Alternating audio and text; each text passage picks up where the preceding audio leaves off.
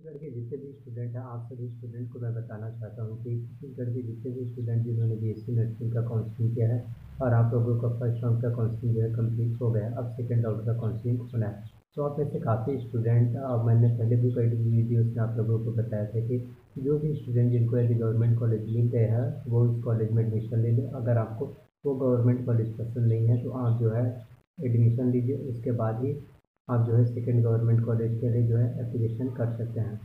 और आपका जो एडमिशन गवर्नमेंट कॉलेज में आप लेंगे इसमें आपका दस प्रतिशत शुल्क ले लिया जाएगा, उसके बाद आपके बाकी का शुल्क जो है वापस दे दिया जाएगा।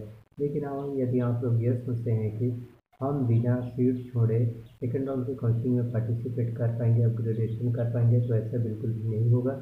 और जो भी सीट आपको मिला रहेगा, वो भी सीट आपके हाथ से चला जाएगा। तो आप लोगों को अच्छे से ध्यान से सोचें उसके बाद ही आपको काउंसलिंग करना है कि जो भी स्टूडेंट यदि जिनको प्राइवेट कॉलेज मिला है, वो प्राइवेट कॉलेज छोड़कर सेकेंड राउंड में प्राइवेट कॉलेज सेलेक्ट कर सकते हैं।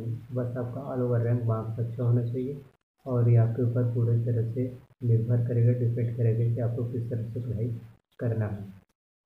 तो अगर कुछ भी और जानकारी आपको पूछना है, कुछ भी पूछना चाहते हैं तो नीचे कमेंट कर सकते हैं।